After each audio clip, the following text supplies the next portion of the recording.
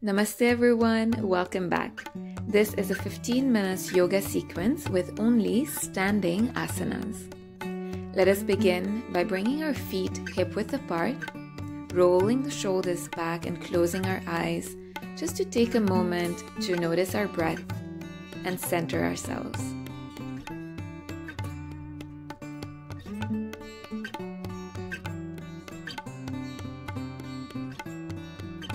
When you're ready, bring your palms together in front of your heart. Take a moment to feel grateful for this practice, for your body, for your breath. Rub your palms together and then gently place the center of your palms on top of your eyes.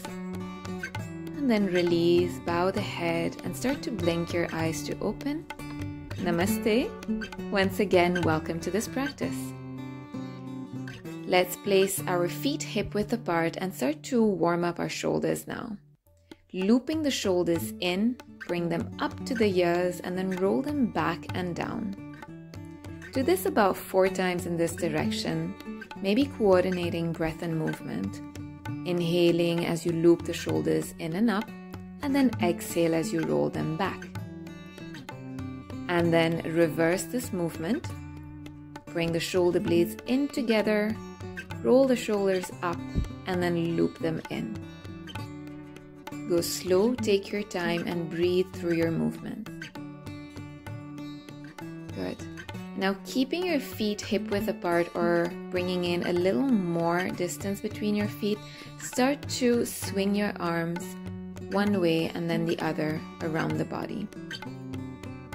Just relax your shoulders completely and let your arms feel like they're spaghetti. Just let them feel really, really free. Good. And then release. We're going to now start with our first stretch, our first asana, which is the standing forward fold. Feet hip width apart, inhale to lift the breastbone, stand nice and tall, and on the exhalation, hinge from your hips let the upper body drape over your legs and keep your knees bent to start with. I'm going to show this from a different angle just so that you see this connection that I'm trying to build between the belly and the thighs. Imagine your belly resting on top of your thighs and then let the upper body drape over the legs. Every inhalation, think of your spine getting longer, and then on the exhale, release the upper body a little more. If your hands don't reach the floor comfortably, feel free to place blocks under your hands and adjust the level or the height of the blocks as necessary. If your hands reach the floor, feel free to place them directly on the floor, or you can even grab a hold of your ankles, keeping the elbows bent. Completely release the head and let the neck feel free. Take a few breaths here, mindfully breathing. And then when you're ready to release, lift the chest, inhale, keeping length in your spine. And then bring your hands onto your hips. And as you exhale, press the floor away from you with your feet and lift the upper body. We're going to do a standing forward fold again. This time I'm going to demonstrate a different variation. Feel free to take the variation or you can repeat what we just did. As you come into the forward fold, you can either place your hands on a block or on the floor, or you can wrap your peace fingers, the index and the middle fingers, around your big toes.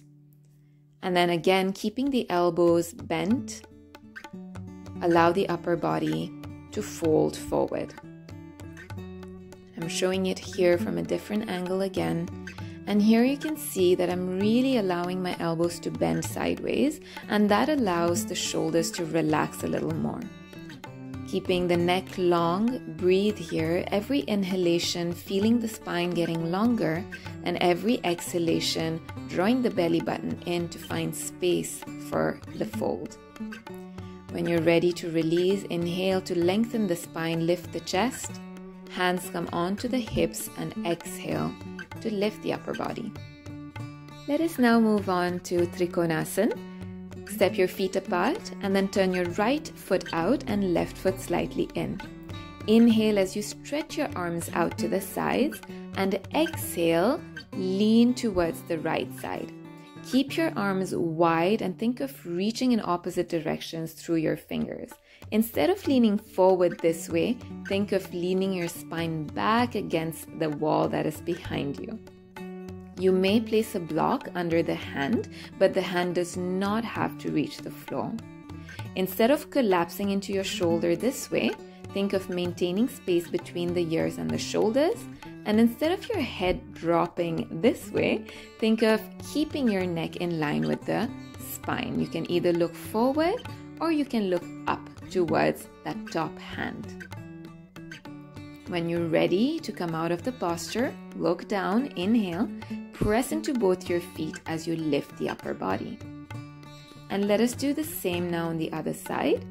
Turn your left foot out, right foot slightly in. Inhale to stretch the arms and on the exhale, imagine somebody's pulling your left hand and then lean over to the left, drop your left arm, reach the right fingertips high.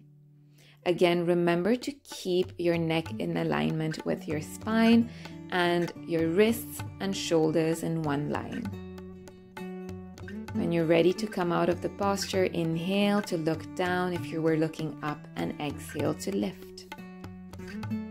For the next asan, bring a little more distance between your feet. Turn your right foot out, left foot slightly in, stretch your arms nice and wide, and then bend the right knee. You want to keep your knee over the ankle and tracking over the second toe. Arms are nice and wide. Keep your shoulders away from the ears and look towards your right fingertips. Breathe. And on your next inhale, straighten the leg, reach your arms to the side. We're going to stay on this side and once again bring your arms out as you inhale, bend the knee as you exhale, and lean towards the right side, reaching your left arm over the ear. Again, we're not leaning forward, we're leaning sideways, and we're thinking of really leaning the spine back.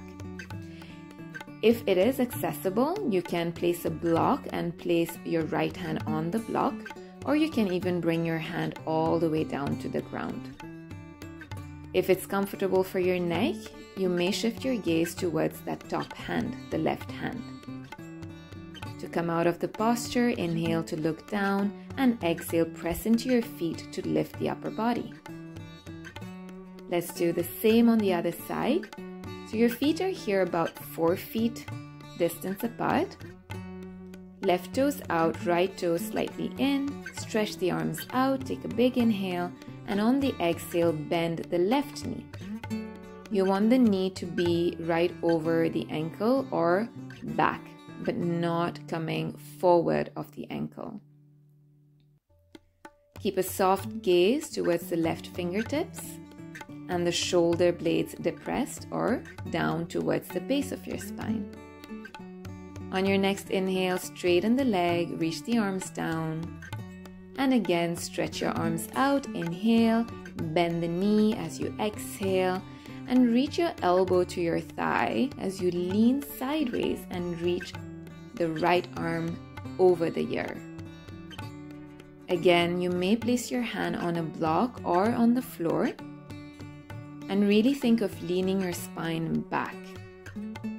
Press into the outside edge of the right foot. Reach the right fingertips long. And when you're ready to come out, inhale to look down, exhale to release. For our next asana, Parshvottanasana, we're going to bring our feet apart, about three feet distance in between the legs, and turn the right toes out and turn the hip bones as well as the shoulders in the same direction as the right toes are pointing in. Inhale to lift the chest and on the exhale, lean forward and down. Pull the right hip back and the left hip forward. And then you can either keep the hands on your hips or bring them on top of blocks on either side of your foot. Keep your neck in alignment with the spine and every inhalation feel the spine getting longer, and every exhale, draw the belly button in and allow your chest to melt a little further down towards your leg. Remember to keep pulling your right hip back and the left hip forward to keep the hips square. Take some mindful breaths here. And then when you're ready to release, inhale to lift the chest. Exhale, bring the hands on your hips if they're not already there and lift the upper body. We will now practice the same on the other side. Turn your left toes out, right toes 45 degrees in, hip bones and shoulders facing the same direction as the left toes are facing in. Inhale to lift the chest and exhale to lean forward and down. Remember to keep your neck in alignment with the spine. Keep the spine long and with your hands guide your hips. This side, you're pulling the left hip back and the right hip forward.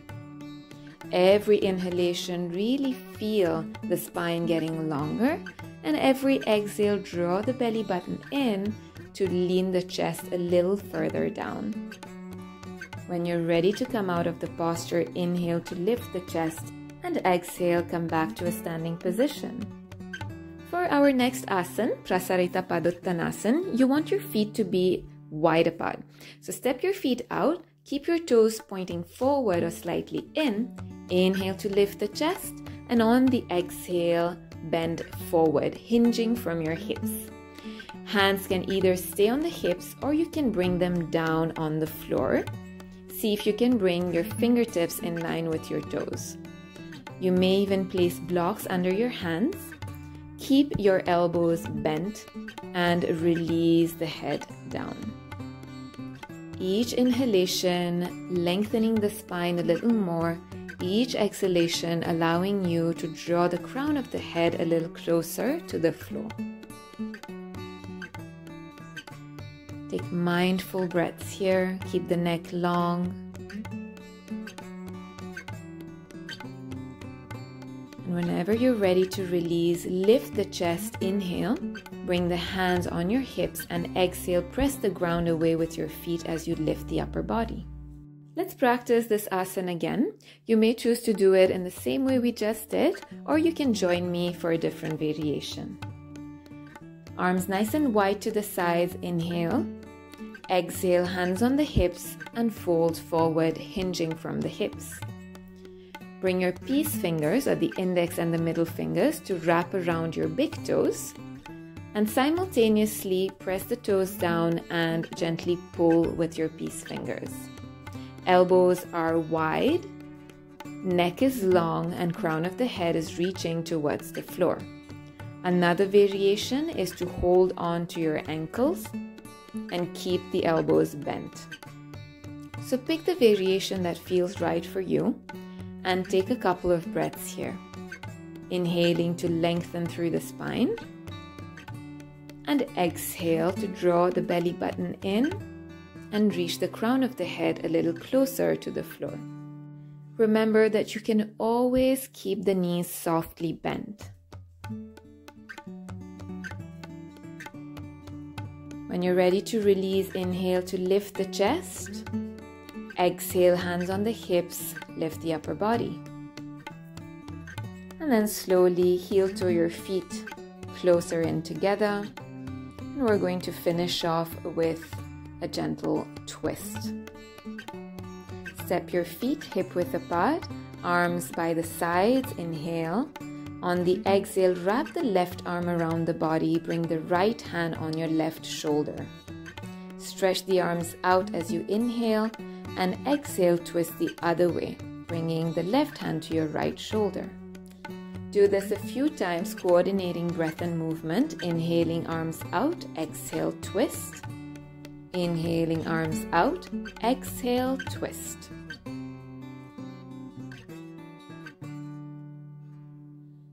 And when you're ready, completely release and bring your feet closer in together. Close your eyes, bring your palms to touch in front of the heart, and just take a few normal breaths here. I thank you for joining me in this practice today. Please do like and share this video and subscribe to the channel to stay connected. Namaste.